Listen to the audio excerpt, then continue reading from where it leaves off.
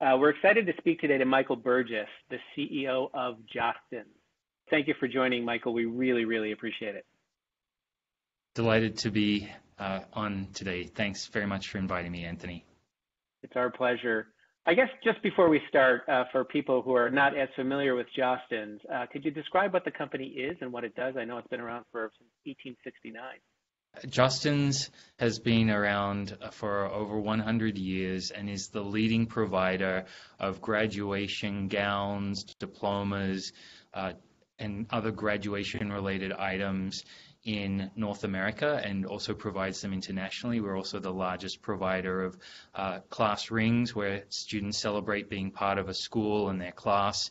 And we're the largest distributor of yearbooks to students in North America as well. We also have the fun privilege of being the ring provider to many of the pro leagues and uh, the leading provider of those rings. And since since the company has been around for so long, could you describe kind of the traditional sales model of the company? I remember kind of when I was dealing with them, there were there were representatives in the school that were typically selling the rings and selling the yearbooks. So we have a couple of sales models. The primary sales model for our high school divisions are through independent reps who have relationships with the schools and sell in those schools, often through class presentations or meetings at lunchtime. And Jostens is a vertically integrated manufacturer and manufactures that custom unique ring or item for the student and it's then sent to the representative or directly to their home after the representative has taken the order, historically in the school using paper order forms and catalogs and things like that. And you were brought into Jostens given your kind of digital expertise and transformation expertise to perhaps perhaps nudge the, I guess, company into the age of digital. Um, can you describe how you're thinking about that uh, across all your divisions? Sure. So uh, we actually have a pretty good percentage of our business already transacted through our e-commerce website, but a huge amount still remained in those personal interactions in the schools with those uh, traditional order forms. And the opportunity was really to think differently about the future of the industry, one that has is steeped in great tradition and has tremendous respect and, and pride in the schools and throughout the community, but that needed a transformation digitally. And so we've launched a number of initiatives thinking digitally across the business to automate processes, have better data and information available for decision making in real time, uh, to be more predictive about where the company's going, but then also taking digital transformation into the experience for the student, parent, and school. For example, just now we're uh, launching digital signing for yearbooks, and that's in light of the current environment, which I'm sure we'll talk more about. And in the fall, we are launching what we call Yearbook Plus, which is where your phone interacts with the yearbook and reveals a lot more images and, and videos of the, the school year experience. So we're thinking pretty holistically about the whole enterprise and how to transform it digitally. So you've been doing this for, I think, about a year at Jostens. And um, of course, COVID 19 comes and not only disrupts how consumers react in general, but certainly disrupts schools at the worst time of year, I'm assuming for your business. Tell us a little bit about how you had to react to the crisis. Jostens had never seen anything like all our schools shutting down for the rest of the school year, and obviously also colleges where we have a big distribution as well. It was right at the peak of our graduation and new book delivery season, our ring delivery season. So it had a major impact on what we needed to do to be able to deliver in the season. So we immediately launched daily war rooms across sales, marketing, finance, HR, the plants um, to be able to move much faster to make decisions in a very quick way to do that from home because we were all sent to work from home a couple of weeks into this. We had to leverage uh, technologies at home for work from home, uh, so digital rapidly became part of that. But the response has been tremendous. Uh, we've had to flex uh, with plant closures and reopenings and site location shutdowns and reopenings to to really be innovative in how we deliver the season.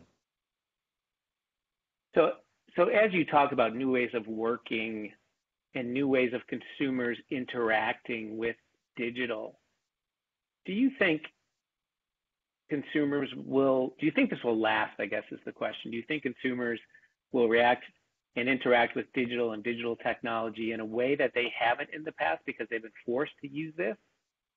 Absolutely, no question. So let's start with the work environment. Uh, I am the only person in our corporate headquarters right now. Uh, everyone else is working from home. And what's remarkable is it's working really well. For the selling of our products, it had to be transformed. Obviously, we've seen a huge shift to e-commerce sales, and so that's been helpful. But in addition, we've had to come up with innovations on how we sell. So the ways that uh, sales representatives are doing drive-through uh, opportunities for the students to pick up an order and deliver their graduation gowns, their yearbooks, all of the innovations we've had to do at the delivery end, and then the digital marketing that we've required with emails, organic social media, uh, a lot of new digital influence in the selling process. And then the whole experience of a digital graduation. We've had to create those over the last eight weeks, and we've wow. now got thousands of our schools doing virtual commencement ceremonies, thousands of our schools having the ability for the kids to have, have their friends sign their yearbooks and take a PDF and print and then put all those signatures from their friends in the back of their yearbook. All of that has been created in the last 60 days. Amazing. That's an amazing story, Michael. You know, you and I have talked over the years about the importance of culture and, you know, getting organizations to move quickly and to make decisions quickly. And, you know, part of, I think, any challenge for a traditional based company is culture to get the, the organization to move more quickly. It sounds like this crisis has somehow jump started your culture into, by necessity, making decisions and moving much more quickly. Has, has that been the case?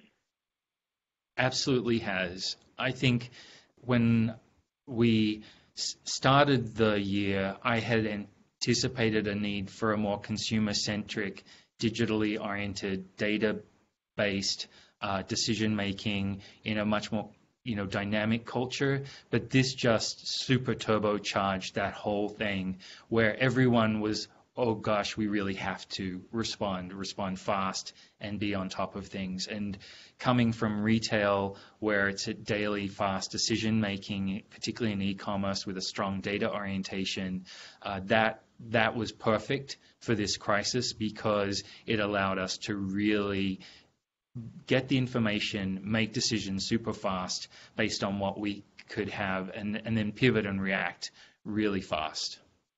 And what's extraordinary is also when you think about the extended ecosystem of Jostens with the sales reps, the plants, the schools, and the communities, everyone was co- coalescing quickly around needing to respond quickly to the crisis.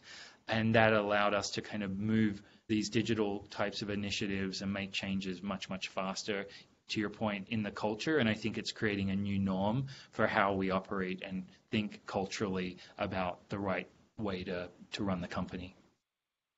You know, one of the challenges I could see moving forward perhaps is keeping this decision making and, and fast moving culture going when the crisis has abated.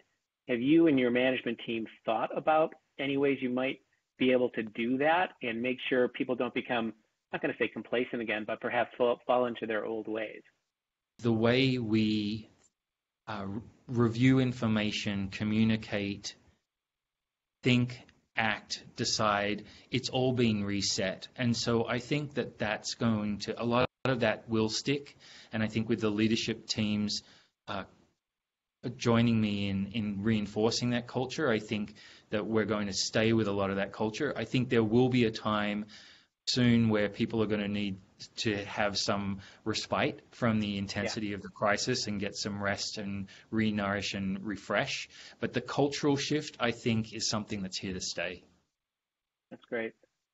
Uh, how about from an investment philosophy, Michael? I mean, you're owned by private equity, and you know, as you're changing your, I guess, how you go to market, sometimes it's a hard balance between where companies make investments, certainly in technologies. Have you accelerated your technology investment uh, as a result of this crisis? Have you rethought the way you're going to be deploying technology and, I guess, deploying the dollars spent on technology as as digital has transformed? Yeah, fortunately, we had already made digital a primary initiative for the company the digital transformation and had begun the investments needed to do that. But I think this has made it very clear to everyone, our investors, our partners out in the community, that we need to accelerate the digital transformation, that it's a necessary part of doing business this year. We're anticipating school closures in the fall, certainly the need for partial school closures, and how do we serve our customers in that environment effectively. And it really all orients itself around digital experiences, digital delivery, digital solutions. So truly has accelerated our digital focus and increased our willingness to invest in digital to support that transformation. I also think that there'll be a permanent shift where some of these new ways of delivering are actually better than the old ways. And they will continue. We have seen some pretty extraordinary uh, actions out there in the field that have been much better than in the past, and I'm sure they'll become the best practices for the future that we'll then test and optimize against. And one of the things I was so impressed as we were talking last week, you said, man, it was really hard when this pandemic first hit. We had to change the way we go to market. But what's been satisfying has been we're actually seeing some really nice revenue gains from all this. And we think our business is stabilizing and actually growing right now because we've been able to use digital um, in a way that's much more effective than we have in the past. Is, is that the case? And if so, can you expound on that just a bit?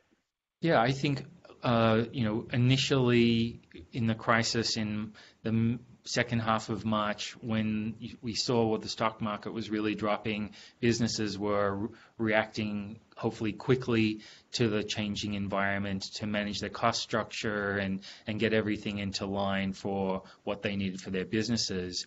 But what we've seen is that in the April May timeframe, there's actually been a nice rebound from that uh, precipitous drop that we're experiencing, and then the rapid enablement of digital delivery, the shift to marketing and selling using our e-commerce websites allowed us to have a nice rebound. And indeed, we're actually seeing year-over-year increases in some areas based on our delivery of digital solutions for marketing and selling. How do you think kind of private equity has been reacting to this? Um, in particular Platinum Equity, which is your equity sponsor? How, how have they been reacting to this crisis and how have they been supporting you? They've been tremendously helpful, actually, in providing us with access to the best advice from leading firms, uh, from their own internal operations team. They helped navigate and helped me personally understand uh, good frameworks for operating through the crisis. So they've been a great support. They've also been willing to provide the right support about quickly re-engaging on our Chief Digital Officer search because of the rapid understanding that digital is essential right now to the operations of the company, will be essential in the fall, likely will be essential next year, and the transformations that are occurring are going to stick. So they've been very supportive on the digital front as well. Uh, is there anything else about this environment or kind of your company today that you want to talk about in, in its relationship to the COVID crisis? One thing that's actually been really uh, positive is we were able to take our plants that manufacture graduation gowns and regalia and convert them into also manufacturing medical gowns and face masks. And so we have been delivering uh, hundreds of thousands of gowns also in the last wow. few weeks, and we're scaling that production up. Uh, we have converted, we put at the front of the line in our printing plants anything needed for health and wellness, certainly for the hospitals, but for the local communities. Uh, we've stepped up tremendously our support of the health and well-being of our own employees, of course. Uh, but that's been uh, something that I would never have expected to be in the personal protective equipment business in uh, eight weeks ago. But here we are in it, and it's it's surging in in what it, it is and the, the benefits that it's providing.